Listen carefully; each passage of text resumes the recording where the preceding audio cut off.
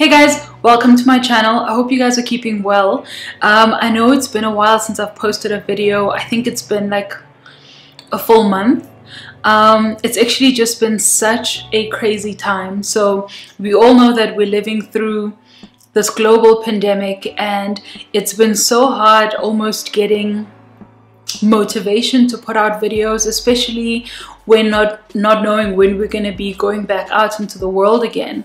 So i've been seeing all the love that you've been sending me and all of the um, the comments on the older videos and just reminding me to continue doing what I'm doing even though you know we're living in such uncertain times. So I am back and and not even hopefully i'm back and we're gonna keep on doing this. And you guys are gonna keep telling me what you want to see on these videos. Um, so at any point when i'm feeling flat i'm looking forward to you guys um, just you know coming through with the ideas and just seeing how we can um, keep on building community and building each other in this freediving world. So last week i wrote I wrote a blog about freediving in the times of COVID because we obviously know that we can't keep on freediving in the way that we always have.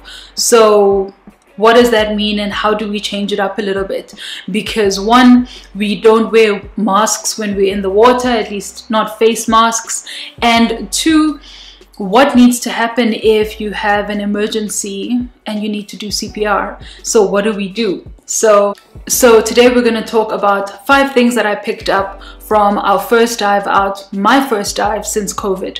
So it has been three to four months since we've been in the water and the one of the quarries that we dive in, they opened up and they said, you know, you guys are, they only allow swimmers and fishermen and in every single way freediving could well be swimming so we were out there and we just had a fantastic opportunity to enjoy the water and of course everyone has been doing um, dry training, dry breath training. So it wasn't such an issue, the holding of the breath, but the water was 14 degrees.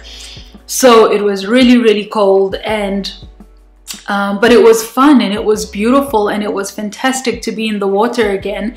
And there was fish and yeah I hope you guys do enjoy the video that I post. Um, and let me know your thoughts. Have you guys been able to get into the water yet? Anyway without further ado let's go into it. Um, so number one stretch. Now you might be thinking what? Well, it's been a long time since we've been in the water, so what I thought was the most important thing was to stretch, especially when you think about your ankles and that little move, your fin move, that's not a normal um, exercise or a normal muscle that you'd be working often. So just a reminder to properly stretch, stretch into your lungs, stretch into your ankles, stretch, stretch everything. Um, so if you're able to just take five to 10 minutes to stretch your body, we have a video on the channel where you can see what stretches are fantastic. And I'll also link it in the video below just so that you can have a look at it. Um, and I hope that helps you in your free dive because especially with us, our water was quite cold. So the stretch was really, really important.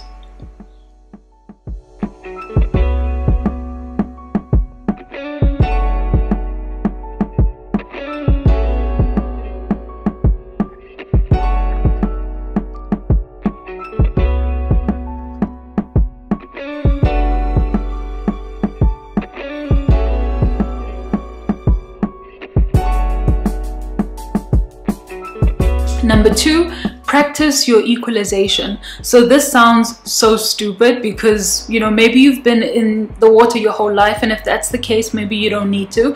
But I found that I needed to just equalize while I was on land, make sure that everything is working. My sinuses are open, the world is open, my lungs are open that was an important part for me. Um, and while we were diving, one of the ladies actually said, so she did a little duck dive and she quickly came back up and she said, I forgot how to equalize. And that's such an important thing because then your natural thing is to go into your Valsalva instead of your frenzel. So just a reminder to check up on your equalization, equalize while you're on the surface of the water before you descend, and again, as often as you can before you get any kind of discomfort, um, you need to equalize. At least that's what I thought was most important to share.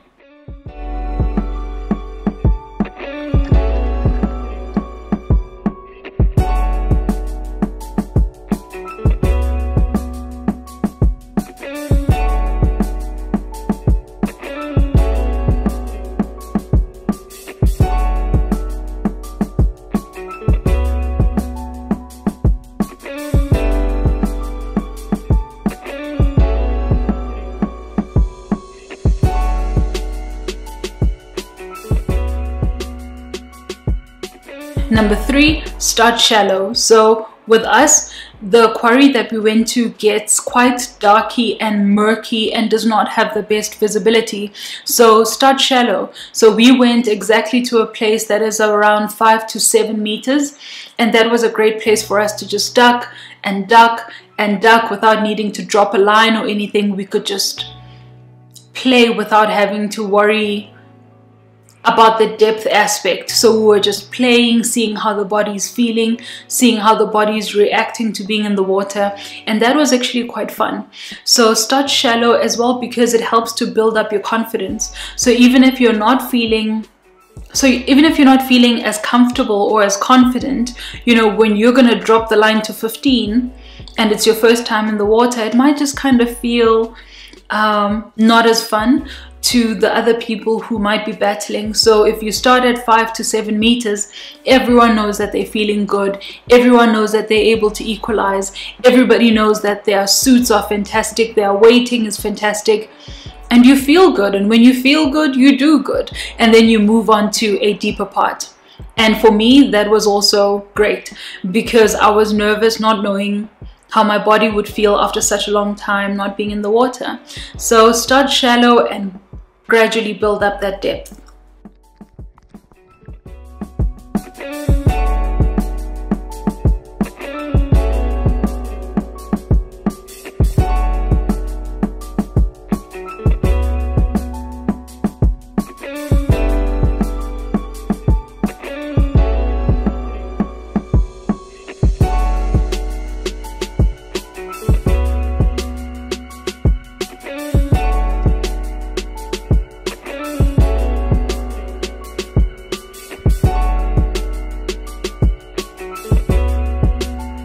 Number four, dive within your limits.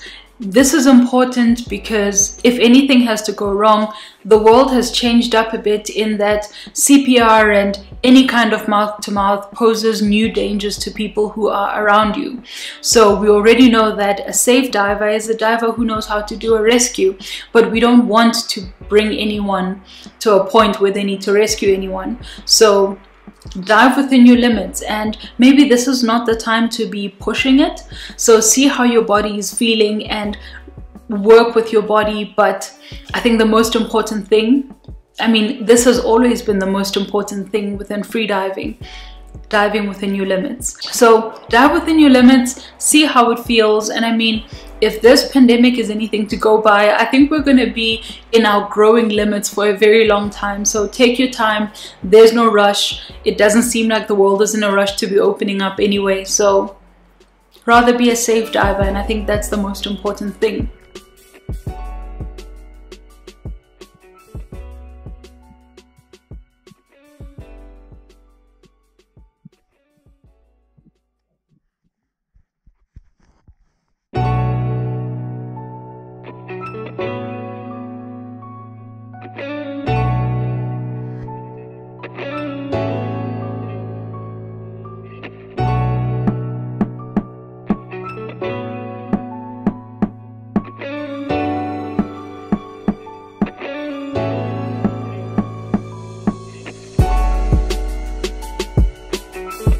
Number five, play.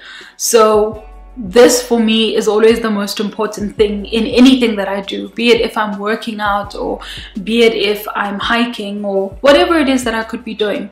The most important thing is to play because when we play, that's how our body grows, that's how we grow, that's how our tolerance grows, this is how we get stronger.